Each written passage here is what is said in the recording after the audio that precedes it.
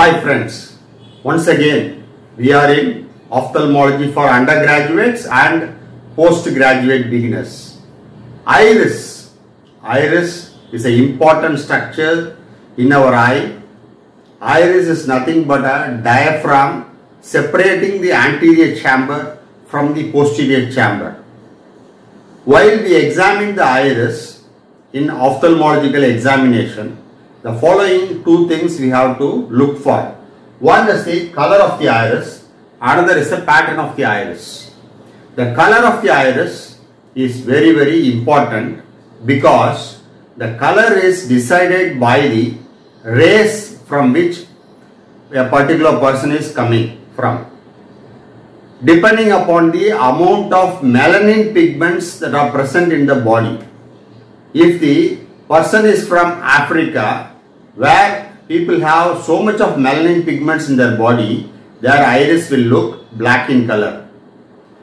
If it is from the Asian countries where the melanin pigments are moderate in number, the iris will look brown in color. If the people are from European countries, then the melanin pigments are going to be very very less and the color of the iris is going to be lighter. Next is the pattern of the iris. Pattern of the iris is nothing but the design of the iris. What is seen. The design of the iris is individualized for each person. Just like a fingerprint, it is individualized for each person. In fact, we should say that the design of the iris is much more specific for each person compared to the fingerprints. That is why they have caught the picture of our iris in Aadhaar photograph in our country. So people can be easily identified from the design of the iris. Let us see them in detail. Let us see how to examine the iris. If you put the light from the front, sometimes the color and pattern of the iris may not be so much clear. It is always better to put the light from an angle on the temporal side so that you can see clearly the color and pattern of the iris all 360 degrees. This is how it is better to appreciate the iris. Next coming to the color and its abnormality in the iris. Color of the iris can be normal for the particular race. Already I have told for Indians it is brown in color. For Europeans it may be lighter colored. For Africans it will be black in color. Sometimes the color of the iris may be different for that particular race. If it is so, if it is affecting only one eye, it is called as heterochromia iridis. Iridis. If the color of the iris has changed in both the eyes, it is called as heterochromia iridum.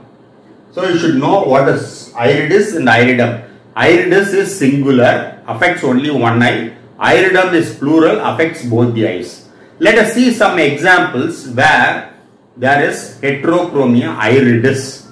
Suppose a patient is having a iridocyclitis or anterior uveitis where there will be outpouring of cells and proteins into the aqueous humor. These cells and proteins will be floating in the aqueous humor. These will be deposited on the back of the cornea forming the keratic precipitates or it may be deposited on the surface of the iris itself obscuring its color as well as the pattern. You can see a muddy colored iris in iridocyclitis. The iris may have deposits of cells and proteins on them making it muddy appearing. The next important example is one sector of the iris is of a different color. Suppose this is the color of the iris in a European. It appears green colored iris. If one, one sector it becomes brown in color, then it is called as heterochromia iridis. This is not normal for a European person. Next, coming to the third example. Sometimes due to certain diseases, some portion of the iris may get damaged leading to atrophic patches. So here I have drawn a green colored iris. I have drawn a patch of blackness in the iris. The atrophy of the iris can appear black or it may appear gray in color. So this is also one of the examples for heterochromia iridis. Usually this occurs in diseases like iridocyclitis, glaucoma or damage to the iris during a surgery or due to trauma. Next coming to the heterochromia iridum. I said iridum is plural. A European person who should have a lighter iris normally if he has a brown or black colored iris and his body is very much fair then it is called as heterochromia iridum if it is present in both the eyes. For a European it is abnormal. Suppose if a person is a Asian or a African and he has a darker complexion and the iris is green color or bluish in color looking like a cat's eye in both the eyes then it is called as heterochromia iridum. One more example for heterochromia iridis singular is suppose an African person who is supposed to have a black colored iris is having a light colored iris on only one eye and in the other eye it is black in color. Then that is also called as heterochromia iridis. I have drawn here the right eye it appears black iris, the left eye is bluish in color. Then this is also an example for heterochromia iridis. Two important terminologies which everyone either UGs or PGs should know is the ectropion uva and pseudo exfoliation. What is this ectropion uva? It is the eversion of the pupillary border. When the pupillary border everts, what will happen? The epithelium that is lining the posterior surface of the iris is seen in a wider area in the pupillary margin. So if the pupil, the iris is brown in color, that part close to the pupillary margin will be black in color and it will be wider. So that is called as ectropion uveae. Usually it is a congenital one where there is a dysgenesis of the anterior chamber. The anterior chamber due to some congenital problem has not developed properly. If you happen to see a ectropion uveae, naturally there is a maldevelopment of the angle of the anterior chamber and these people are prone for glaucoma. The next term is pseudo exfoliation. Here in this picture, the pupillary margin of the iris is not clear. You can see that it is not well defined. There are some white dots along the pupillary margin. They look like a dandruff-like material. This is what we call it as pseudo exfoliation. This is nothing but a degeneration of the iris tissue leading to pseudo exfoliation, dandruff-like material formation. So this is also very very important because when you are going to do a cataract surgery, this may affect the outcome of the cataract surgery. People having pseudo exfoliation too are prone for pseudo exfoliative glaucomas.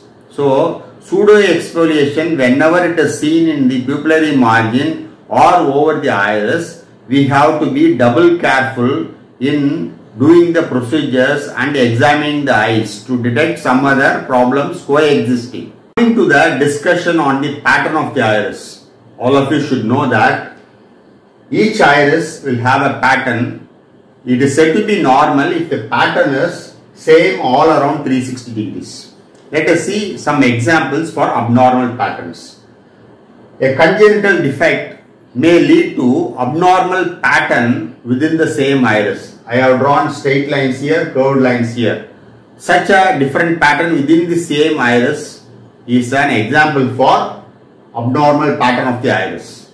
The next is atrophy of the iris. Already I have told in heterochromia. Uh, atrophy of the iris can alter the pattern of the iris. Next example is nodules in the iris. In chronic iridocyclitis, you can have, see small swellings in the surface of the iris.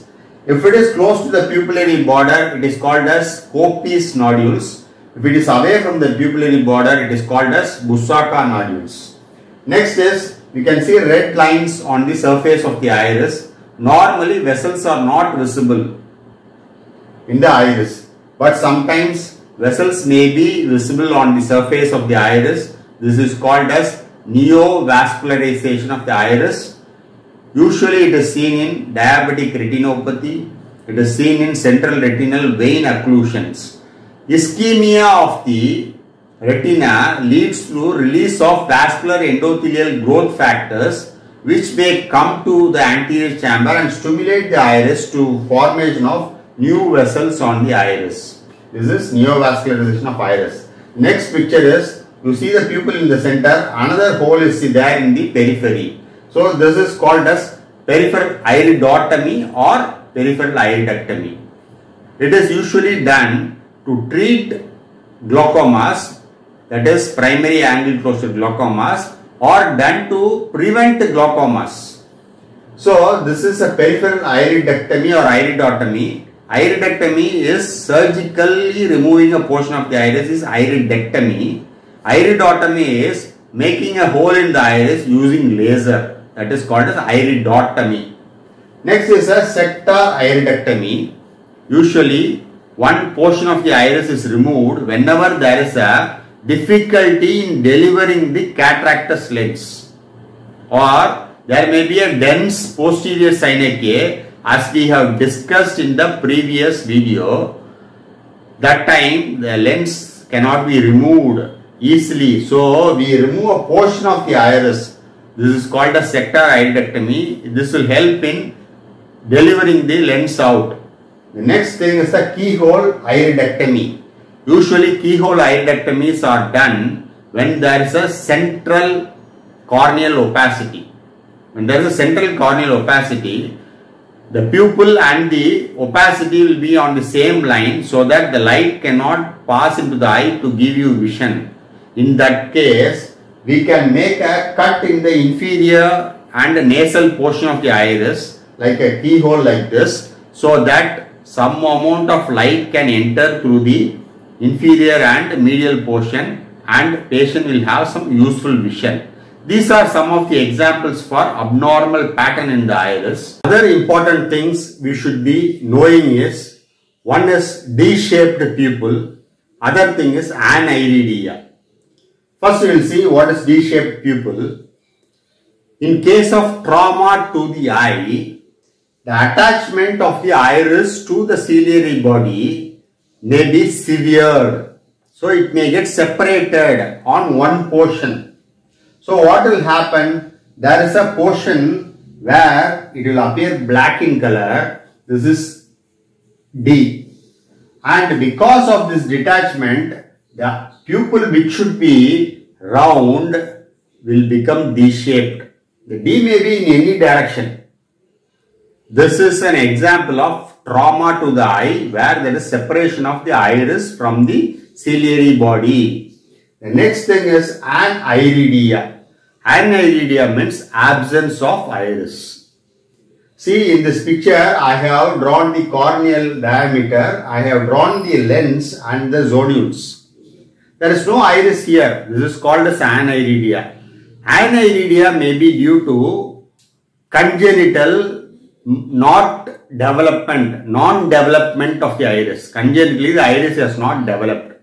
Or because of trauma, the entire iris may have detached from the ciliary body leading to aniridia. I hope I have discussed in detail about the iris examination and the abnormalities commonly seen. Let us stop here and we will see in the next video about the pupil. Thank you.